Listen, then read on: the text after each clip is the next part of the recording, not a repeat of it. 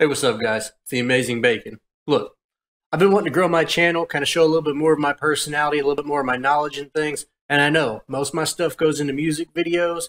And as I've seen, I don't really know as much about music as I thought I did. So I'm going to continue to grow my knowledge in that, continue to react to music videos and everything just like I have been. But I also want to start adding a little bit more content that maybe reaches out into more things that I'm knowledgeable about and things that I enjoy doing.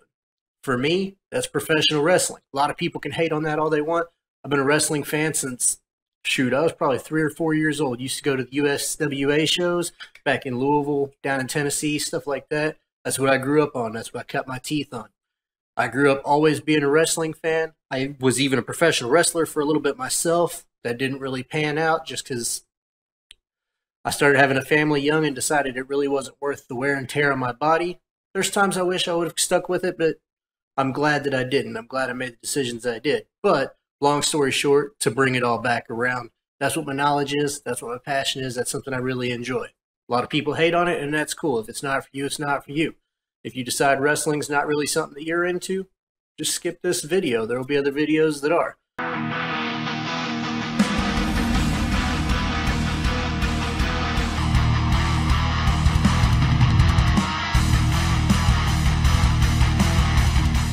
Lot of you guys have been hearing about this company, AEW. It's run by the Elite, which is Cody Rhodes, the Bucks, Kenny Omega, Adam Page, and some of those guys. And this is something that it's a brand new wrestling company, but it's creating quite a stir in the professional wrestling just world. And I wanted to kind of get in there, get my knowledge, my experience on the sport, kind of give my analysis on what's going on. So I checked out AEW Fight for the Fallen and I'm going to let you guys know what I thought.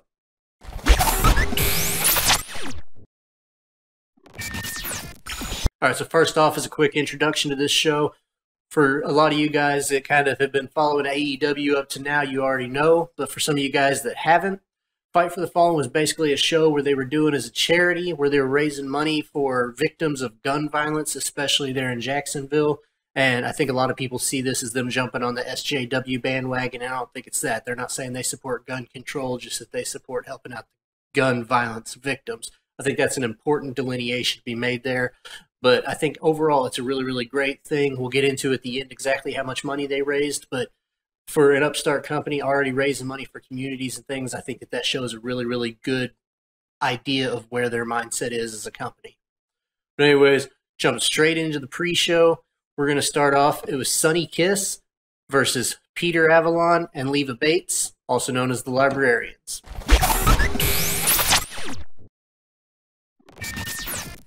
There, there wasn't really a whole lot to this match. There wasn't really any backstory or anything like that. It was basically just uh, a chance to kind of introduce the world a little bit to Sonny Kiss. And for those of you guys that aren't aware, he does have a very flamboyant, very feminine, um, kind of a, a, gimmick that he does. He came out with the Jacksonville Jaguars cheerleaders, danced his way to the ring. And I know that some people are probably going to be made a little bit uncomfortable by that because it's treading into like un unadventured lands. Uh, I, I, don't think that AEW is doing bad in their introduction of him because they're not making his entire gimmick about his personal lifestyle choices. Yes, it's who he is, but he doesn't get sympathy for it, and it's obvious that he's not getting like pushed solely because of being a member of the LGBT community. I think that that's uh, something that shows a lot of where their mindset is is just they're accepting of all people, as you see with him and with uh, Nyla Rose. Obviously, they're going to be accepting those, but not making it about their lifestyle, just about the fact they're talented professional wrestlers. Anyways, all that over with. He ended up picking up the win over Peter Avalon. Like I said, it was a pretty short match. I, I didn't really time it, probably about five minutes or so. But he hit the uh, the big kick and then the split legged the splits off the middle rope. Hit Peter Avalon with it. Got to one, two, three. I think probably the biggest uh, storyline driven thing that you see out of this match is at one point Sonny Rose got kicked out of the ring and Leva Bates had the opportunity to kind of hit him a little bit, rough him up some but she didn't. She picked him up, generally put him back in the ring, and that was something that Peter Avalon didn't really like. And if you're following the story so far of Peter Avalon and Leva Bates, then you'll know right now they're pushing for Peter is trying to gain the affection of Leva Bates by kind of being her lackey a little bit. And so I think that, that showed a little bit of that rift. It's going to create some character driven building. And overall, I think that that's a good thing because even though it wasn't that long of a match, it gave us a chance to learn who these characters are, kind of see what they were about, but not spend a whole lot of time on it like you would see in other situations.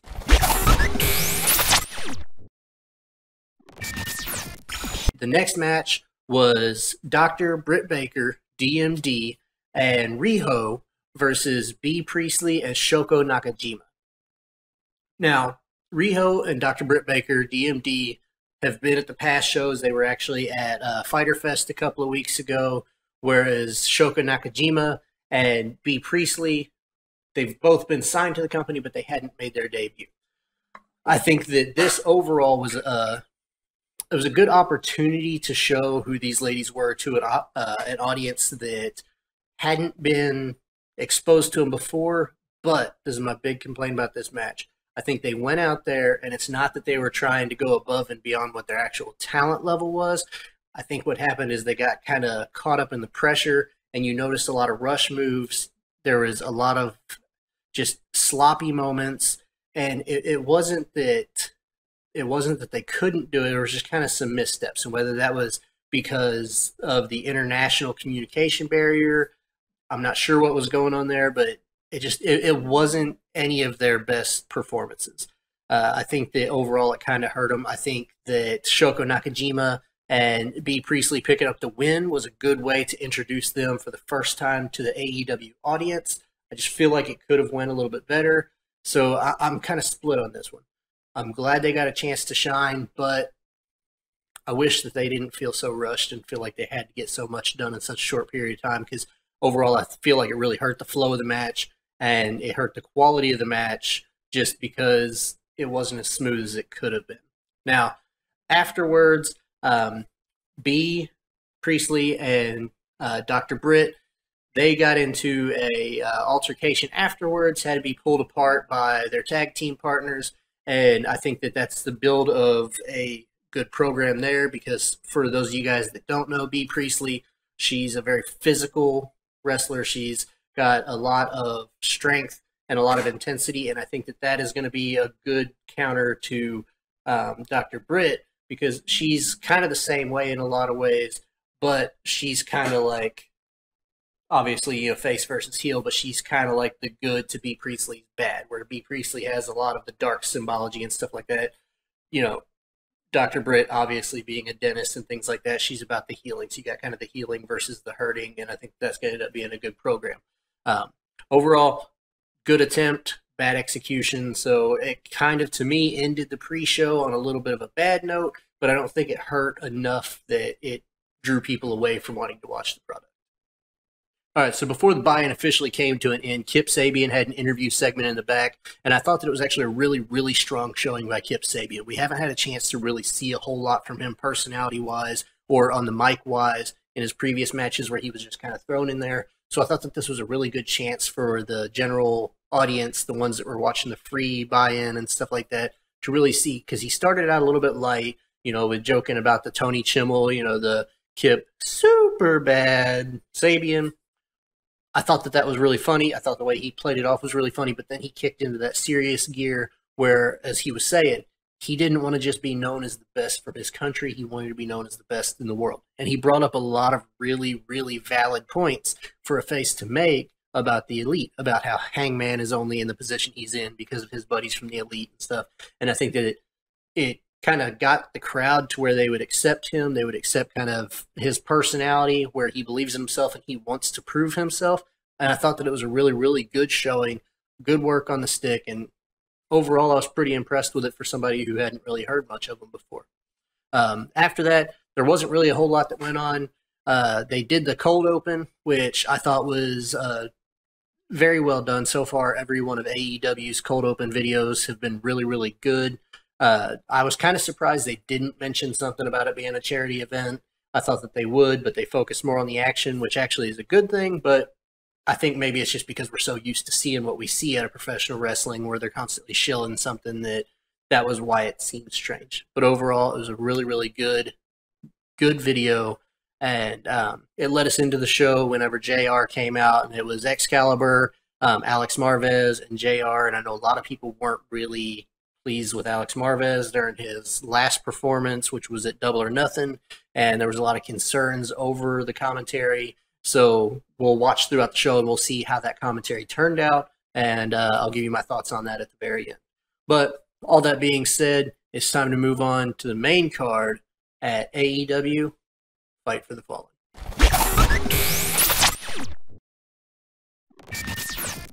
The first official match on the main card was MJF, Sammy Guevara, and Shawn Spears versus the trio of Darby Allin, Jimmy Havoc, and Joey Janela. Now, the story kind of going into this was obviously that Shawn Spears did not get along with MJF, partially because MJF is Cody's best friend. Whenever Shawn Spears hit Cody in the back of the head, MJF was one of the first ones to come out. And so Shawn Spears took it personally because he doesn't like Cody. So he felt like by taking Cody's side, that MJF was going against him.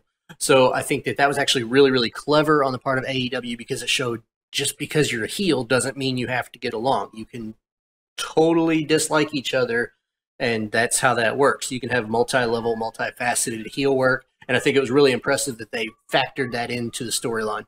Um, where on the other side, you had Darby Allin, Jimmy Havoc, Joey Janela, all three guys that are known for basically being completely insane and willing to do anything. I think Darby Allin had a career making performance against Cody two weeks ago at Fyter Fest where he took the coffin drop, he did a lot of the other stuff, he took that massive throw out of the ring, and he just showed that he belongs.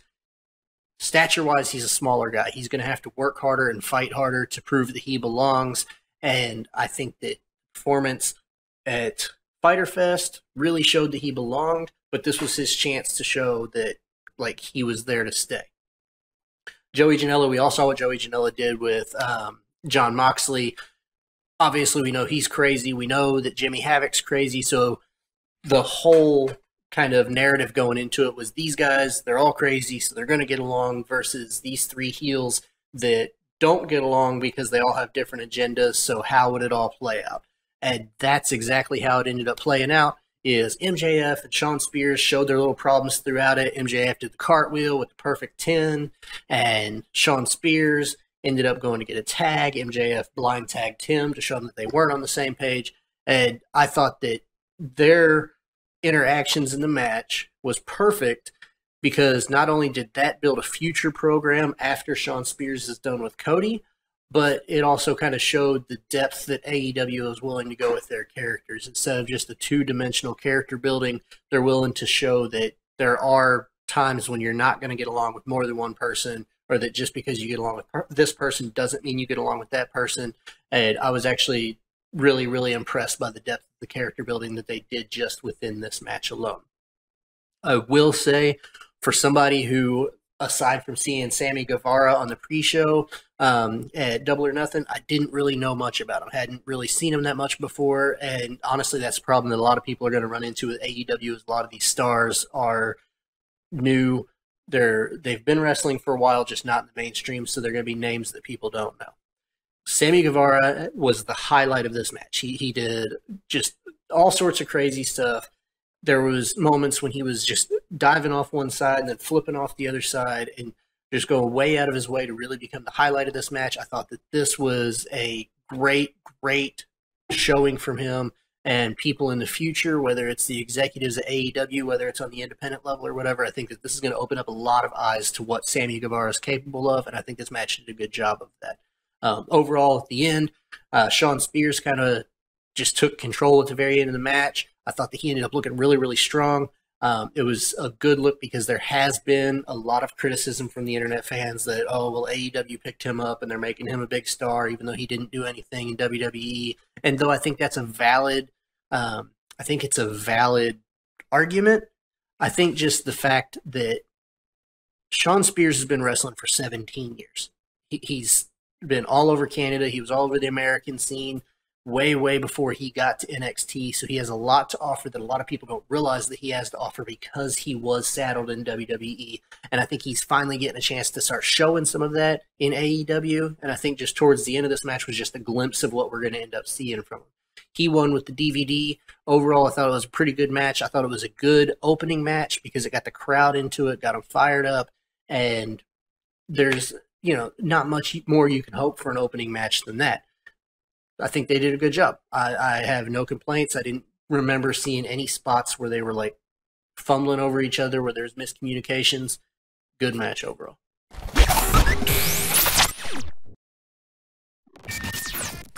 All right. Brandi versus Allie. I didn't come into this one with real high hopes because this was the first card where you saw a lot of people bringing up the criticism of um, nepotism because of being related to the elite. And a lot of people felt like Brandi didn't necessarily deserve to be at this spot on the card, especially when you have people like Britt Baker, Riho, Bea Priestley. When they're on the the buy-in, I can see why people would feel that way. That being said, the video package they did before this match where they showed, you know, Brandi like battling her personal demons, her mental demons, all that stuff, uh, to overcome and to become a wrestler. I think it built up sympathy for her, and I think that's exactly what they was going for. Because if you watched being the elite leading up to Double or Nothing, then you saw where she was like calling the other women wrestlers and saying, "Hey, you're the one that's going to win," and backing them up. But what she was doing is being very manipulative throughout the whole thing by building each of them up individually just to manipulate them to get what she wanted. And I feel like this played out perfectly into that, played out perfectly into her gimmick, especially whenever her and Allie came out and then Awesome Kong's music hit. Awesome Kong came out to back up Brandi, And so it turned out it was a lot more of that mental kind of playing around and I, I, really liked that because it added that needed depth where instead of just being, oh, well, that's Cody's wife or that's the chief brand officer, it was now we're starting to see what her true motives are, what her, you know, her idea, her mindset is. I really like that. Um, I felt like the match could have been better, honestly, but I think that it was taking two wrestlers that they're not that experienced. It was much more of a story driven match, which is when uh, Awesome Kong interfered a couple of times on Brandi's behalf.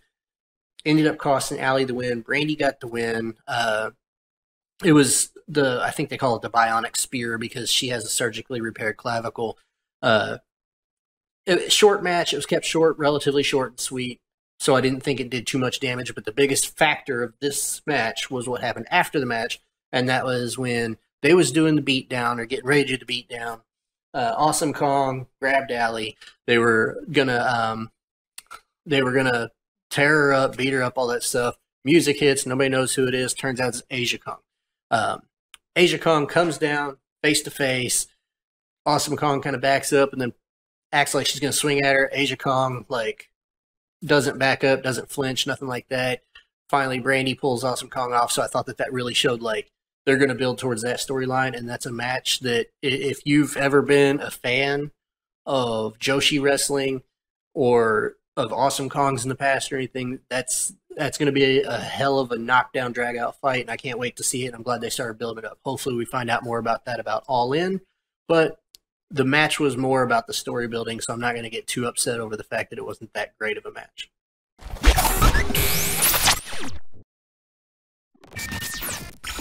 Next match on the card was the Dark Order versus Angelico and Evans versus Jungle Boy and Luchasaurus, or a boy and his dinosaur. Um, Marko Stunt came out with Jungle Boy and Luchasaurus. He would end up factoring in a little bit. I'll get to that. But overall, there was a few key points that came out during this match. This was a really, really good six man match. I think Dark Order showed me a lot more than what they had a lot of people because a lot of people weren't used to them as being the Super Smash Brothers and PWG. If you don't watch independent wrestling, you just saw these guys show up and you didn't know who they were. So this was a good showcase for them. Um, I, I don't personally feel like the right team went over in this case because Dark Order did win to get a first round bye in the tag team tournament this fall. Um, if it was up to me, I would have given it to Jungle Boy and Luchasaurus just because it's obvious. Jungle Boy is super talented. He's over with the crowd. He's got everybody's support, and everything that I can say about Jungle Boy, I can say times two about Luchasaurus. Luchasaurus is just he is a star in the making. That he's over with the crowd. He's got the way to pump them up. He can get them behind him. His moves look smooth. I can't really say anything bad about the guy. If you saw his work in Lucha Underground, unfortunately, it came to a weird end because Johnny, what is it? What Johnny Impact now? I guess he goes by. Um, because Johnny Impact beheaded him and killed him, and that's how he was written out of Lucha Underground. And I like Lucha Underground, but some of their storylines went too far crazy. But anyways, I digress about all that stuff.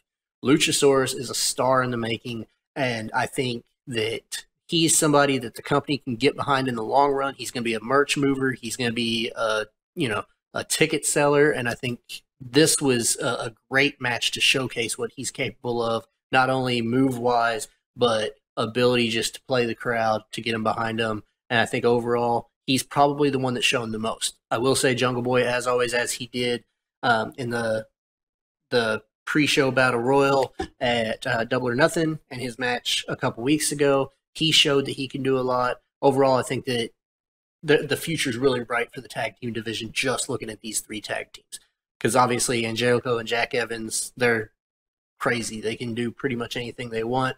Um, if you've been following all the way through their careers, they're very talented.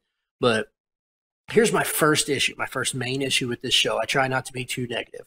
But Marko Stunt got involved, and um, I, am sorry, I can't remember off the top of my head which one of the Dark Order it was, but he attacked him, did a Hurricanrana off the top rope, right there in plain view of the referee. Even the announcers were confused there was no disqualification or anything. The, the referee didn't disqualify him for whatever reason, um, but just kicked him out of the match. And I didn't, I, didn't personally like that. I'm, I'm a big fan of continuity and, um, you know, obviously traditional professional wrestling says if somebody else interferes and strikes one of the competitors in the match, then they get disqualified.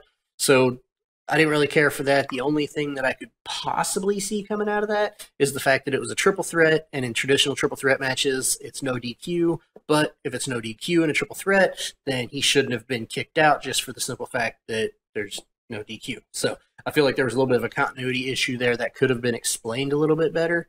But that's a minor gripe about a great match. Uh, overall, I think it was really, really strong match. Built up all three teams really well, and like I said earlier, the tag team division is looking great in AEW.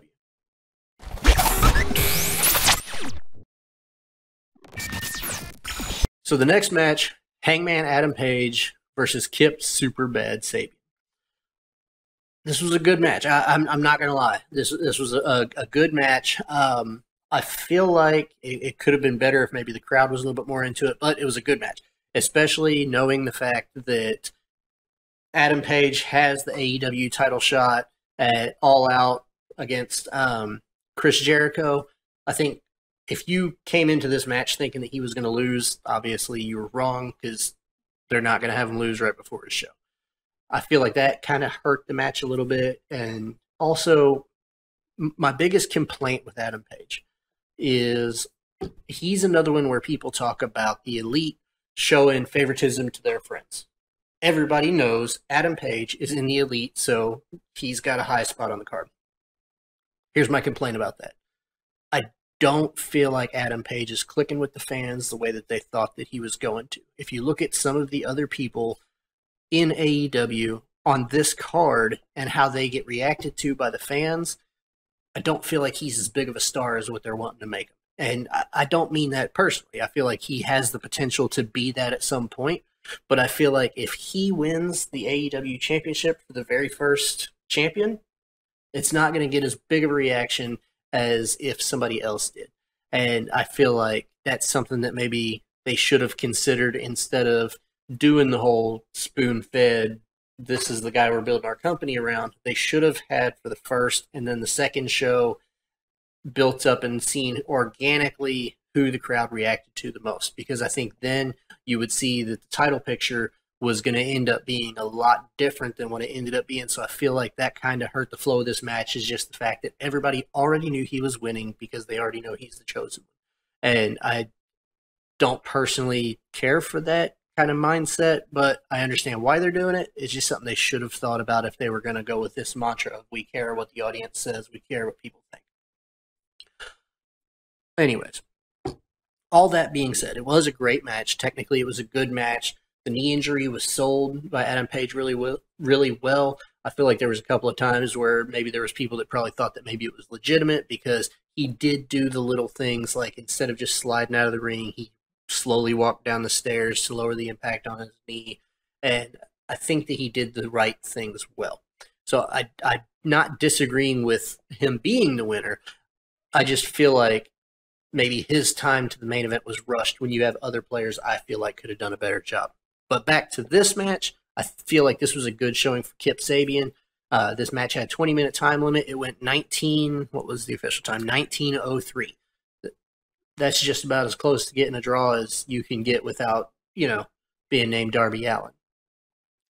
Overall, it was a good match.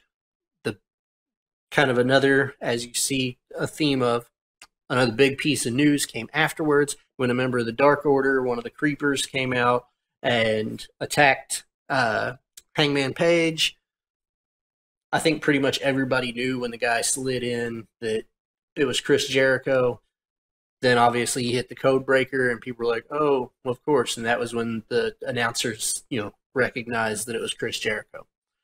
The only issue that I have with that whole thing, well, two issues. First off, Chris Jericho already did the whole jumping under a mask thing when he dressed as Pentagon Jr. and he jumped Kenny Omega, you know, back at uh, All In. So I feel like that was kind of a repeated thing. But the problem that I mainly have about this show in particular is when he first slid in the ring, the camera caught him dead on. Mask or not, if you know Chris Jericho, there was no doubting who it was. Like you saw his eyes, you saw his eyebrows. There was no surprise element to it. I think everybody watching obviously would have known that it was Chris Jericho, but just the fact that I feel like if they would have hit a different camera angle, it probably would have been a better element of surprise. It's a minor gripe, but I do feel like it could have been executed a little bit better than it was.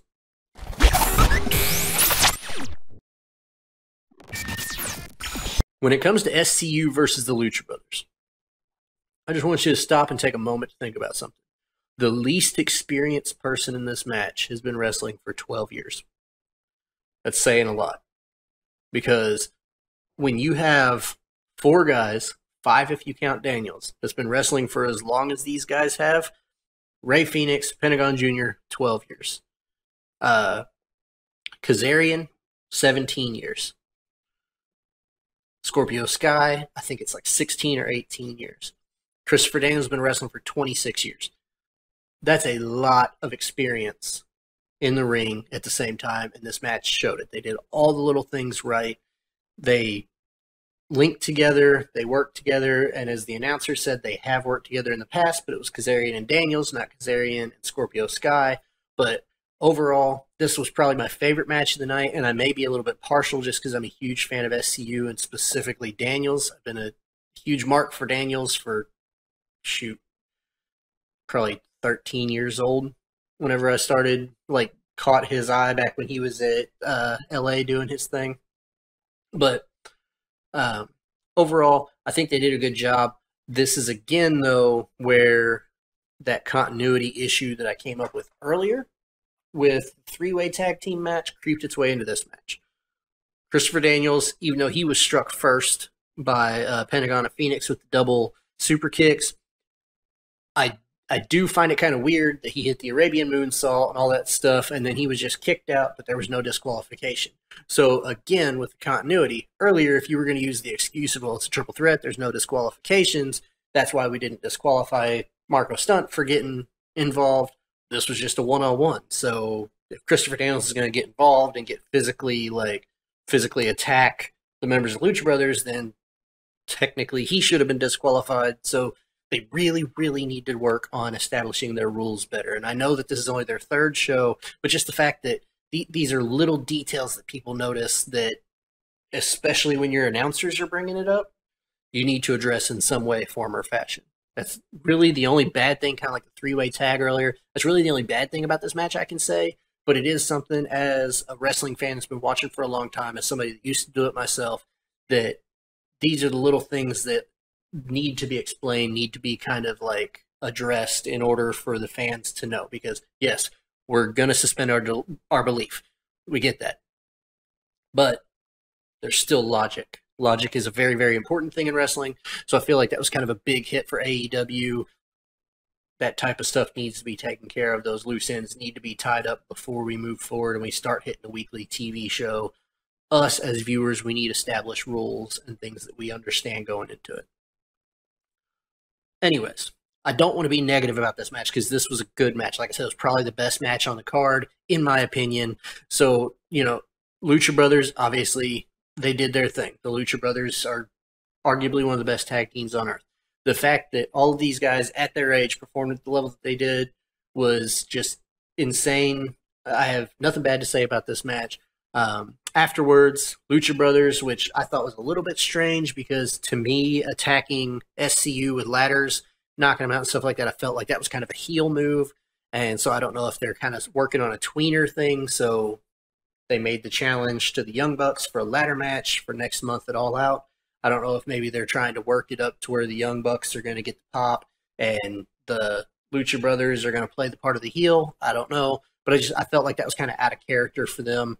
Um, them getting up on the ladder afterwards and talking about being the best uh, tag team in the world, best tag team in the universe. I don't I don't have a problem with that because that's just being proud. But the attack itself, kind of wondering where they're going with that. Could be good, could be bad. I guess we'll know when we get there. But long story short, that's building up to the Young Bucks versus the Lucha Brothers. Again, kind of a rematch from Fyter Fest, but this time it's going to be in a ladder match. Uh, that that should be pretty interesting. I don't know which way they're going to play that, whether they're going to have like a contract for a title match uh, on the line or what. But overall, their their build just builds itself. They've wrestled, you know, at Triple Mania with AAA. They wrestled in AEW already. Now they're looking to wrestle again in a ladder match. Those teams work just amazingly together. So uh, looking forward to that. And overall, can't say anything bad about the match other than that one little thing that I brought up earlier.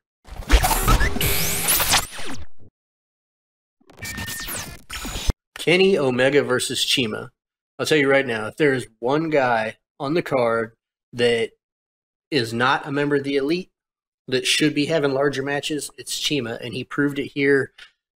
This match was physical. They beat the hell out of each other. Um, you saw him spill it all the way to the outside. CIMA hit the Meteora off the upper level onto the table onto Kenny Omega. Um, that was kind of one complaint that I had is the fact that there was roughly 17,492 Meteoras in this match. Who's counting? Um, so I didn't really care for that just because I don't like dipping into the well too many times because eventually the water gets muddy. Um, so I feel like that could have been done a little bit better, like maybe a better um, array of moves. But that is one complaint in a match that overall went really well. I think that Kenny Omega actually took a lot more abuse in this match than I thought he would. I figured with coming into the match with Jon Moxley that they was going to build him up to be really strong.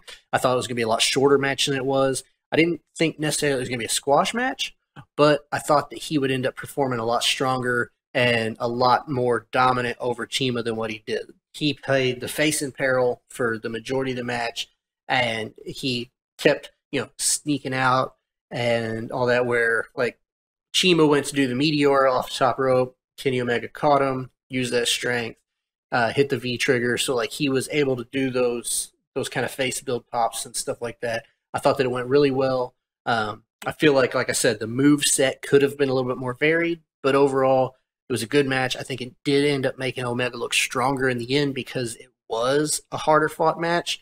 So in that one, I'll take the L on that one. My opinion was wrong it should have went exactly how it went. It made Kenny Omega look better just for the fact that it made CIMA look so much better. Um, good, good match. Uh, I think that there was one spot in that match that um, they were up on the middle rope, and originally it looked like CIMA was in a reverse Rana position, and then he turned around and he hit the sunset flip off the middle rope onto Kenny Omega. Kenny Omega took a ugly bump on the back of his neck. At first, like I was surprised the announcers didn't make a bigger deal out of it than they did. But I, I understand where these guys are coming from. A lot of these guys are coming from Japan with the Puroresu and all of that, where they're used to stiffer shots and all that. But here's the thing if you're going to start doing weekly television, especially if it's going to be live, you, got to stop taking these head and neck like these snapdragon um, bumps and stuff like that because you're going to shorten your career. If you're doing this every single week, it's different than in NG, NJPW where you're doing it once a month or where you're wrestling a match like every couple of months or something like that. Like I, I understand where they're coming from, but this is where the WWE style makes sense is because you're doing it all the time now. Please, for the sake of your career, your life, your livelihood, don't take bumps like that unnecessarily, especially when you're talking about people like Darby Allin doing that coffin drop onto the ring apron. Like Darby Allin did all of that stuff and like blew everybody's minds and had a career making performance, took that coffin drop and just freaking bombed it. And then Shawn Spears hit Cody with in the head with a chair and everybody forgot about Darby Allin. I'm not saying that's Darby's fault, just like I'm not saying that it's Kenny Omega's fault that he took that bump. But what I'm saying those bumps are dangerous and they're limited for a reason. And Kenny Omega is one of those. He likes to make a show. He makes likes to go 100% all out every single time he's in the ring, and I don't have a problem with that. But going all out every time you're in the ring when you're in the ring once a month is different than going all out, giving everything you got when you're in the ring every single week. So just something to think about whenever they move forward. We'll probably start seeing a lot less of these huge bumps that you've been seeing in the you know three programs they've had so far. So Jericho came out for the next segment. Um, I think everybody kind of saw, especially with him attacking Hangman Page, how this was going to go. Basically, it was Jericho coming out, you know, telling everybody he still wanted their their thanks and he still wanted their appreciation. And then, you know, he was trash talking Adam Page. Adam Page came out, beat him up. They got pulled apart. And uh, I think the biggest highlight of all of this is the fact that Page, like his eye, like he was busted up pretty good. So I, I don't know if that just came from the match with um, Kip Sabian before, or if it was from the Jericho attack, or they just have somebody that's amazing at makeup. But like his face was jacked up, and so I felt like that added to the intensity, added to the realism of it. Overall, I think it went really well. Not a whole lot to say because the promo itself was pretty basic. The beatdown was expected, but that was the big thing to note there. Is I mean, his face was pretty jacked up, so good stuff there.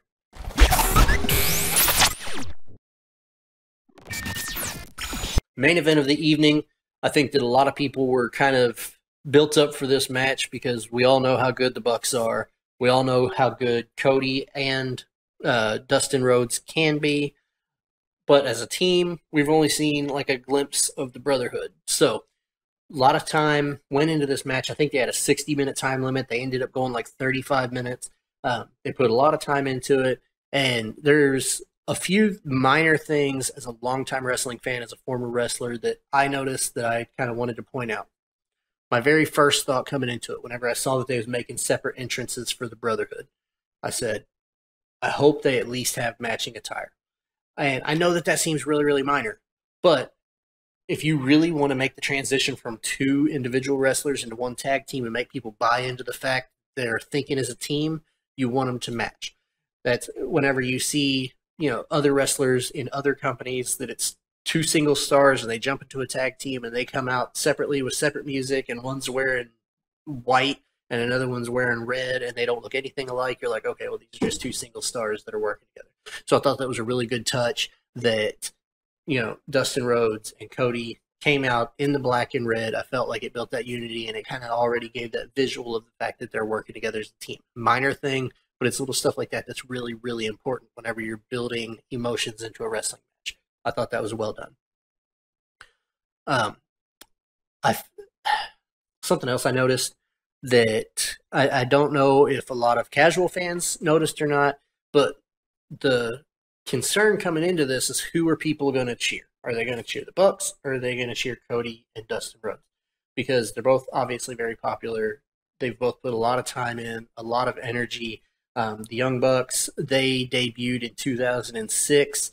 Cody debuted somewhere, correct me if I'm wrong, around 2003, 2004. You know, Dustin Rhodes been wrestling for 31 years. So these are all guys that have been doing it for a long time. So they've built up that status with fans where they're going to love them. You, you just reach a certain point in your career that no matter what you do, people are going to like you.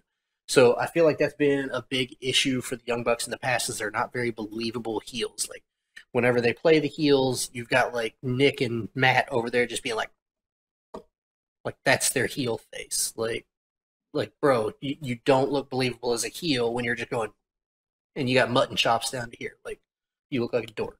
I love the Young Bucks. I think that they're probably like arguably in the top five tag teams on the planet right now. But that's just a gripe of mine is I can't take them seriously as a heel because they're you know I think see uh, I want to say that Matt is five ten, Nick is five eleven, maybe vice versa. They weigh 178 and 179 pounds apiece. It makes it hard to be threatening. So when they tried to play the heel in this match, I think that showed a lot in the fact that they were able to get heat just for the fact that they're not natural heels. So I thought that they did a good job with that. But all that aside, the match itself, I feel like it was paced out really well, especially going 35 minutes the way that it did. Um, my major, my major concern with Dustin in this match was just going to be that he couldn't keep up with the pace of the Young Bucks, and that's that's no knock against Dustin. It's just the fact that, you know, the Young Bucks are some of the fastest tag team wrestlers on the planet. They are all over the place. They're they do everything. So it is hard to keep up with them even if you're half Dustin's age. So I feel like the the pacing of this match, they did a really good job. They started out high pace. They slowed it down for a while. You notice there for a while Cody was the face in peril. That way Dustin and even the announcers mentioned he catches breath on the outside and things like that. I mean the guy's 50 years old. So the fact that he was hanging in there shows a lot of amazing talent, amazing ability, and the fact that he's been working his ass off to stay at the level that he's at. Um, I think that that showed a lot of good stuff. So overall, major props for how they timed and paced this match. I think it went really, really well. Maybe went like five minutes, a little bit too long, give or take, but I understand why they did it the way that they did for the simple fact that they wanted to tell that entire story. Here's my one complaint about this match, and it's something that some people will probably agree with me on, some people probably won't. But if you're going to do an injury angle like they did with Nick's shoulder, I believe it was Nick, but I think it was Nick. Anyways, if you're going to do an injury angle like they did with him, where he was charging in, went for the spear in the corner, hit the shoulder, and then they worked over that shoulder for like the next 11, 12 minutes. And I'll give it to him at the end of the match. He was still selling it and stuff. I, I don't have a problem with that. But here's my problem with that. Again, suspending belief. Logic is still a thing. When was the last time you saw either of the Young Bucks come charging in and go for a spear in the corner? You don't. That's not one of their moves. So why, all of a sudden, out of the middle of nowhere, would he go running in and try to hit a spear in the corner and mess his shoulder up? Like there's there's so many other moves that they could have done to get to that point. He could have grabbed the arm, went to go up to the ropes for the arm drag, for the moonsault to the outside, anything, and they just grabbed him and pulled him down and hung him up on the top rope. There's a lot of ways that they could have gotten to that that I feel like would have been a lot more believable than putting him into a situation where he would never put himself individually. Like that that doesn't make sense to me. Again, small thing that probably, you know, only me and maybe a couple of other people noticed, but it is stuff like that that if you're going to do an injury angle, make it believable, make it something where they would typically do that kind of move in order to cause the injury, and I think that it would make it more believable. Anyways, overall, I still feel like it was a good tag team match. Um, the end felt a little bit kind of like weirdly rushed. Uh, they hit the Meltzer driver, got the one, two, three. Um, the match went over well. Then afterwards, they started talking to um, the Brotherhood, and then the music hits. Everybody started coming down with the check, and he said on the mic, "Oh, I think we're out of time" or whatever. And I, just, I thought that was kind of an awkward thing. Like they spent time at the end of the show with Kenny Omega, like doing some sort of weird promo, trying to say goodbye to everybody that took like five minutes, but they couldn't give them the proper time on the stick. And to me, that was like a little bit awkward, and that goes into the production values, which I'll hit in a minute. But I just I feel like that part could have gone a little bit better. But overall, match was really good. Um, I, I was really happy with how the match turned out.